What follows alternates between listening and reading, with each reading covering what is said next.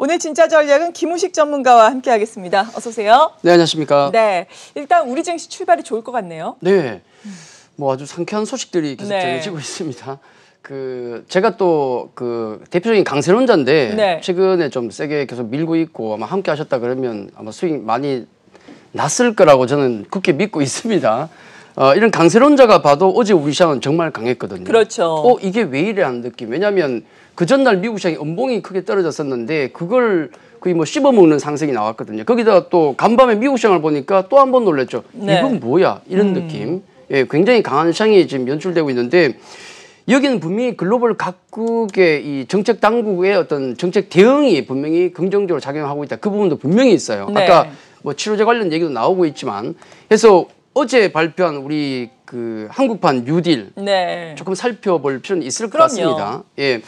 그 한국판 뉴딜에 대해서 구체적으로도 어제 또 대통령께서 직접 언급도 하시고 또 기재부에서 또 자료도 내놓고 했습니다. 그래서 그걸 좀 잠깐 살펴볼 필요가 있고 시사하는 바도 있습니다. 우선 한국판 뉴딜이 뭔가 어, 전체적으로 한번 말씀을 총 어, 전체적으로 한번 말씀을 드린다 그러면은 사실 지난 6월에 한번 나왔었죠. 거기에 대한 얘기가 나왔습니다. 네. 6월에 하반기 경제 정책 방향이라고 내놨었는데 어, 거기 어떤 내용과 크게 다르지 않는 어떤 그런 어, 크게 다르지 않는 내용이거든요. 그래서 어, 지금 한국판 뉴딜 구조에 대해서 말씀드린다 그러면은 크게 새로운 부분은 없다. 네. 다만 이제 규모는 많이 늘어났어요.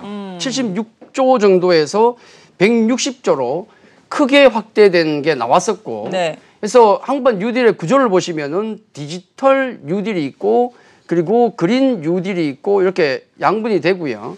에, 그다음에 이제 그 아래쪽에 보시면은 고용 또 관련해서 내용도 있었습니다. 그래서 요 세 가지 부분이 우리가 중점적으로 봐야 될 부분이다라는 말씀을 드리고 네. 이걸 세부적으로 가보니까 10대 추진 과제라고 나와 있죠.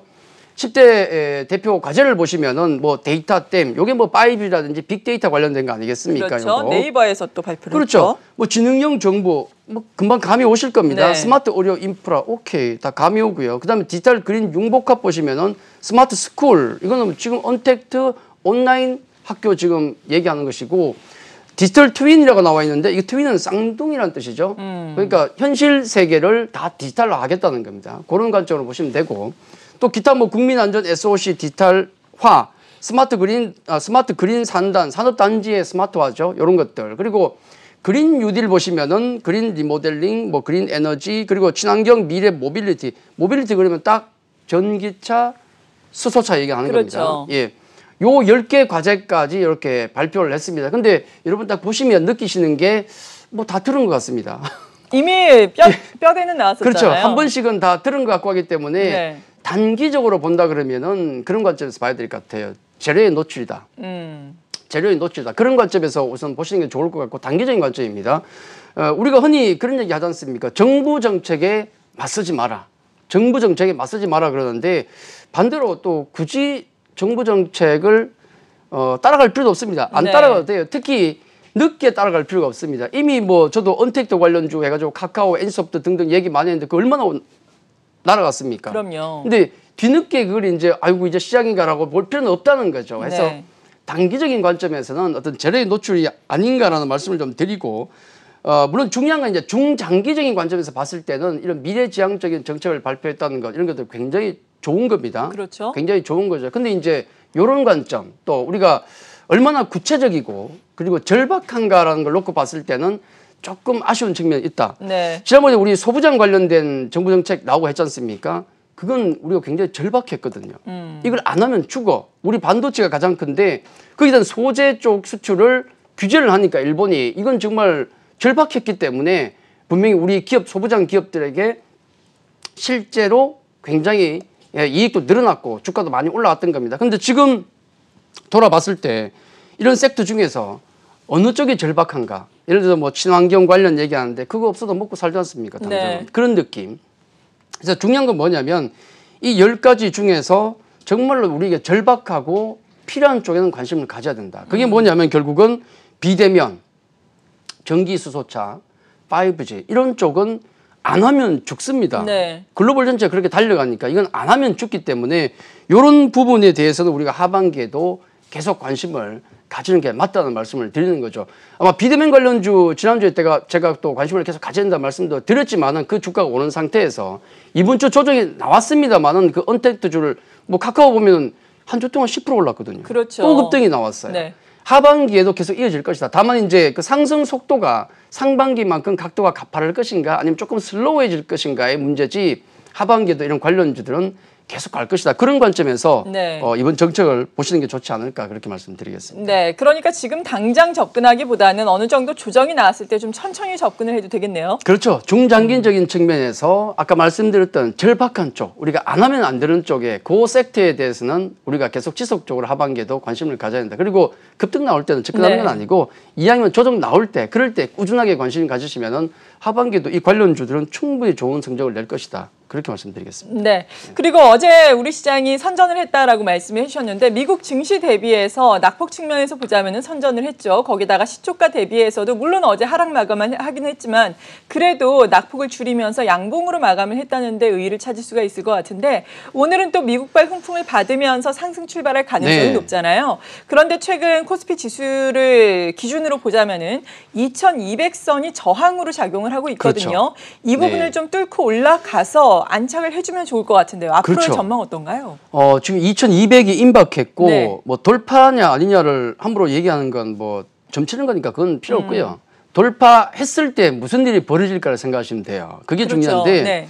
지금 장세를 보시면은 제가 보기에는 거의 뭐 들불 장세다. 들불이요? 예, 퍼지는? 예, 들불 네. 장세다. 저는 그렇게 보고 있습니다. 굉장히 지금 뭐 불타오르고 있고 수익 내기도 굉장히 좋은 장이고요. 네.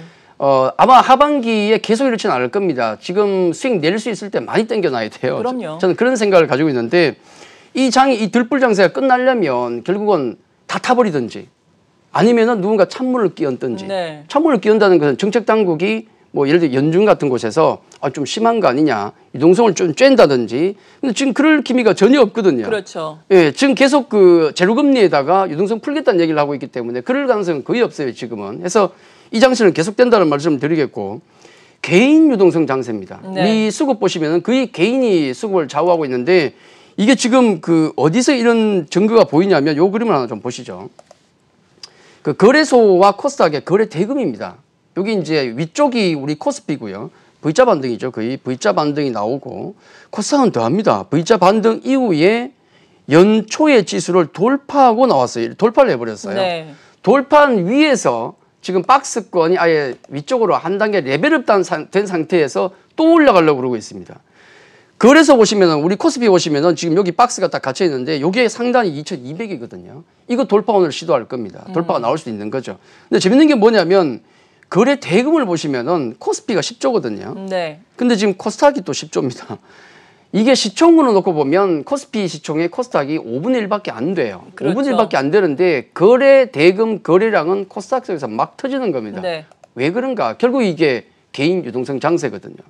이건 전 세계 모두가 마찬가지입니다. 요거 하나 보시면 국내 수급을 하나 비교를 해 보시면 되는데 여기 국내 수급 비교입니다. 이게 고객 예탁금이고 첫 번째, 두 번째가 신용융자. 이것도 다 네. 개인이죠. 그렇죠. 요건 주식형 펀드니까 이건 기관입니다. 네. 요걸 보시면은 고객 예탁금은 여전히 지금 강합니다. 올라온 속도가 주춤하고 있지만은 여전히 강한 흐름을 보이고 있고 늘어나는 속도가 강한 흐름을 보이고 네. 있고 특히 뭐 신용융자 같은 경우는 뭐 로켓이네요, 로켓. 그렇죠. 최고 수준이죠. 어마어마하게 늘어납니다. 근데 반대로 요게 개인 자금이라 그러면은 반대로 주식형 펀드를 보시면은 네. 지속적으로 잔고가 가- 하락하고 있습니다. 이제는 직접 투자하겠다는 거죠. 그렇죠. 왜냐하면 공모펀드에 대한 어떤 실망감 이건 벌써 오래됐었고 문제는 사모펀드 최근에 보시면은 그나마 기대를 했던 사모펀드가 지금 사고가 라임을 뭐 비롯해서 뻥뻥 터지고 있지 않습니까? 네. 이러니까 개인 투자자들이 돈을 안 넣으려 그래요. 사모펀드 이런 데 의심이 되니까. 그렇죠. 예, 굉장히 그쪽 업계가 좀 어렵다는 얘기가 있습니다. 거기다가 이 공모펀드까지도 덤탱이 있어가지고 음. 같이 지금 안 하려 그러니까 이런 개인 자금들이 직접 하겠다는 게 굉장히 강합니다. 우리는 지금 동학개미라 그러고 있고 그리고 미국은 로빈후 로빈훗이라 그러죠. 그리고 또 중국은 뭐라 그럽니까 청년 부추? 네, 부추. 지금 계좌 트고 있는 중국에서도 계좌를 트고 있는 그 연령대로 보면은 30대 뭐30% 이상이 젊은 세대, 네. 20대 30대래요. 중국은 우리 우리가 보통 개미 투자자 그러는데 거기는 부추라 그러더라고요. 그러, 그러게요. 예, 잘라도 잘라도 계속 자라지 않습니까? 예. 그래서 우리 그 기관과 외국인의 영원한 먹이다 이래가지고 음. 부추라 그러는데 그게 청년 부추로 바뀌어서 지금 재등장한 겁니다. 네. 그러니까 개인 자금이 글로벌 전체 한국은 물론이고 미국, 중국까지 지금 쥐고 흔드는 장세가 계속되고 있죠. 그러니까 예전에 어떤 기관의 시각, 기관의 어떤 그런 스탠스로 지금 장을 접근하면 수익이 안 나는 거예요. 날 수가 네. 없어요. 그래서 새로운 트렌드로 지금 시장이 바뀌고 있기 때문에 거기에 맞는 눈높이를 맞춰야 된다. 그러면 우리가 어느 쪽을 봐야 돼요? 그러면 중요한 건 제가 지난주에 한번 보여드렸습니다. 같은 그림을 좀 보여드리겠는데 요 네. 그림이죠. 거래소 시총 상위 분석을 제가 지난 시간에 한번 보여드렸는데 약간의 변화가 있고 하기 때문에 또 보여드립니다. 어느 쪽이 움직이고 있는가, 어디에 관심이 많은가를 보면 지난 시간도 말씀드렸지만은 바이오 쪽이고 바이오가 여전히 사- 상단이 있고요. 네. 전기차가 상단이 당연히 있고 큰 변화 없어요. 언택트도 세 개, 하나, 둘, 세 개가 있는데 예. NC가 살짝 밀렸죠. 왜냐하면 언택트 주가 이번 주에 조금 쉬고 있지 않습니까? 그렇죠. 반대로 이제 밑에서 부각한 게 뭐냐면 LG생활건강 12에 다시 올라왔습니다. 중국이에요, 중국. 음. 중국죠. 그러니까 우리가 어느 섹터에 집중을 해야 될 것인가는 여기에 나온다는 거죠. 네. 삼성 바이오로직스, 셀트리온으로 대표되는 바이오 종목, 그리고 네이버 카카오 NC소프트로 대변되는 언택트 관련주, LG화학과 삼성 SDI로 대변되는 전기차 관련주. 간밤에도 이제 그 간밤에 미국 시장을 보시면은 미국 시장이 그 전날 음봉으로 크게 떨어지던 종목군들이 이 언택트 그다음에 뭐 커뮤니케이션 관련 종목들이 밑에서 돌을 괴듯이 강하게 받쳐서 올라왔거든요. 간밤에 다 언택트 관련주들 다 살아났다는 살아나는 모습을 보였고 특히 이제 중국 관련주 같은 경우가 다시 부각이 되고 있는데 중국 증시 차트를 아마 최근에 보고 계시리라 저는 생각을 하는데 네, 좋죠. 중국 상해 지수 잠깐 보시죠. 이런 네. 흐름입니다. 이 흐름이 어떻게 됐냐면 중국 상해가 그동안 좀 쉬다가 급등이 나오고 있어요. 여기 코로나가 제일 먼저 발생했을 때가 언제냐면 여기 2월 전후에서 2월 전후에서 올해 코로나 때문에 급락하는 모습이 한번 나왔었고 폭락이죠. 폭락 이후에 V자 반등, V자 반등 이후에 아 이건 아닌 것 같은데 다시 재발락. 그러다가 상승 채널형으로 올라오다가 이 채널을 돌파하고 날아가 버려요. 어마어마한 무서운 상승세가 나오고 있는데 이런 흐름을 놓고 본다 그러면 결국은 이건 뭐 미국이든 유럽이든 이런 쪽에서 남매가 돌다가 이제 중국 쪽으로 오는 겁니다. 지금 중국 쪽에 또 직접 투자가 또 우리나라 어, 분들이 많이 한다 그러더라고요. 그러겠죠. 중국 굉장히 많이 한다 오랜만에. 상승하니까. 관련해서 우리도 중국 관련주에 대한 관심들을 높일 수밖에 없습니다. 제가 뭐 벌써 한 2, 3주 전부터 중국 관련주 말씀드렸어요. 네. 지금 어, 중국 관련주들 굉장히 활발하게 움직이고 예를 들어 SN 같은 종목들 실적이 지금 나올 수가 없잖아요. 엔터주. 근데 지금 기관 매수세가 100만 주 이상이 들어와요. 음. 왜 들어올 거예요, 그들이? 실적도 안 나온 종목에. 이건 분명히 시장의 기류가 지금 변하고 있다. 이걸 우리가 알아야 되고 어느 쪽에 집중해야 될 것인가는 아까 보셨던 그런 섹터 쪽에 집중. 단 이제 하나 첨언을 한다 그러면은 중기적으로 아까 보셨던 그런 부분들에 집중하시고 단기로 봤을 때는 만약에 아까 2200포인트 말씀드렸잖아요. 2200포인트에 대한 try 또는 돌파가 나온다 그러면은 아마 단기적으로는 경기 민감 섹터, 경기 민감 sector에 대한 관심도가 높아질 겁니다. 경기 민감 섹터 구체적으로요. 그렇죠. 반도체라든지 음. 철강, 화학, 자동차 등등에서 네. 단기적으로 그쪽에 랠리가 나올 수도 있어요. 그렇기 때문에 그 비중을 잘 조절하셔야 됩니다. 중기적으로 이런 그 new normal 관련주, new normal이라 그러죠. 그런 관련주에 관심을 가지시고 단기로 볼 때 오늘 그런 흐름이 나온다 그러면 경기 민감 sector에 대한 종목도 분명히 있어야 소외받지 않는다. 네. 지금 이런 언택트 관련주와 경기 민감주의 싸움이라고 보시면 돼요. 근데 결국 같이 가는데 지금의 흐름을 놓고 봤을 때 2200 돌파가 나온다 그러면은 경기 민감 섹터 단기적으로 힘을 받을 수가 있습니다. 거기에 대한 관심도 단기적으로는 지금 좀 필요하다는 말씀도 함께 드리도록 하겠습니다. 네. 그런데 어제 앞서서도 잠깐 언급을 해주신 것처럼 한국형 뉴딜 구체적인 정책이 발표가 네. 되면서 관련된 종목들에 대해서는 사실 차익 실현성 매물이 나왔잖아요. 그렇죠. 소문에 사서 뉴스에 파는 현상이 네. 나타났는데 이들 종목들에는 중장기적인 관심이 그래도 필요하다라고 말씀해 주셨어요. 그렇죠. 앞으로 또 실적 시즌인데 물론 뭐 대표적인 종목 들 네이버, 카카오, 네. NC소프트 같은 경우에는 실적도 좋을 것으로 예상이 됐는데 그렇죠. 주가도 너무 많이 올라왔잖아요. 그렇죠. 실적 시즌과 맞물려서는 어떻게 봐야 될까요? 결국은 그 실적을 예. 꼭 체크해 보셔야 되는데 같이 그 언택트 주다 아니면은 뭐 뉴노멀 주 중에서 많이 올라온 종목 중에서 정말 실적이 안 되는 종목 있습니다. 네, 있겠죠. 있거든요. 간밤에 그 우리 미국 증시 다 올라간 것 같죠. 근데 빠진 쪽이 있어요. 네. 웰스파워 같은 종목. 음. 금융주가 네. 금융주가 경기 민감주로서 굉장히 강세를 보였는데 잠깐 보였는데 걔들은 3, 4% 급락했거든요. 예. 왜? 실적이 안 나왔어요. 그렇죠. 뭐냐면 언택트 관련 주다 무슨 주다 무슨 주다 그러는데 지금 실적 시즌이기 때문에 실적에 대한 검증은 분명히 있습니다. 그래서 어중이 떠중이 같이 따라온 종목들은 조심을 좀 하셔야 되고 네. 말씀하셨던 막 카카오라든지 NC라든지 이런 실적이 되는 종목군들은 중기로 계속 가져가는 전략. 약간 그거는 실적을 구분해서 가져가는 것도 괜찮다는 말씀을 좀 함께 좀 드리도록 하겠습니다. 네. 아, 그리고 마지막으로 시청자 여러분들을 위해서 또 좋은 선물 준비하셨다고 들었는데 우리 시장 전략과 네. 함께 또 알아볼까요? 그렇죠. 우리 시장 전략을 또 계속 말씀드릴 수밖에 없는데 제 전략 아시지 않습니까? 농반 진반으로 어, 강남 스타일 전략 갈 때까지 가보자라는 말씀을 네. 드리잖아요. 어 그러면 뭐 아마 들으신 분들이 그럼 막 가자는 거냐 그렇게 생각하시는데 절대 그건 그건 아니죠. 아, 니고요 예. 뭐냐면 제가 계속 말씀드렸던 것은 우리 예, 그 차트 잠깐 보시면서 말씀드린다 그러면 네. 지금 어, 일봉 차트를 보시면은 굉장히 안정적인 모습 보여주죠. 추세선도 돌아 나오고 ADR도 이제 올라가고 박스권 상단 돌파의 가능성도 있고 이런 장세입니다. 그래서 제가 갈 때까지 가자는 말씀을 드리는 것은 제가 여기 그림 하나 잠깐 그려도 네. 될까요? 요거 우리 주식 투자 하시는 분들 보시면은 제가 제가 그림을 잠깐 하나 그릴게요. 이게 뭔가 사람인가요? 예 사람인데 네. 지금 웃고 있습니다. 네. 수익이 너무 잘 나니까 네. 우리가 주식 투자를 배울 때 흔히 이렇게 배웁니다. 무릎에 사서 맞아요. 어깨에 판다 그러죠. 그 네. 어깨가 어디냐면 이쪽 어깨입니다. 무릎에 사서 이쪽 어깨가 아니고 머리 확인하고 이 어깨에 파는 거예요. 네. 머리 확인한다는 게 중요합니다. 그러니까 머리는 안 먹겠다는 거예요. 음. 제가 끝까지 가자는 것은 이 머리 부분, 내가 먹은 거에 한 5% 정도는 떼준다는 얘기예요. 그건 네. 떼줄 각오하고 끝까지 간다는 얘기입니다. 그게 맞거든요. 지금은 머리가 확인이 안 됐기 때문에 그렇죠. 갈 때까지 가보자는 말씀을 드리는 거고 뭐 구체적인 전략은 제가 계속 말씀드렸지만은 아까 말씀드렸던 언택트 전기차 중국 중국주에 대한 관심 계속 가지시고 2,200 돌파 나온다 그러면 경기 민감 섹터도 함께 가자는 게 좋습니다. 아까 방금 말씀하셨던 네. 제가 선물을 하나 좀 준비했는데 아, 네.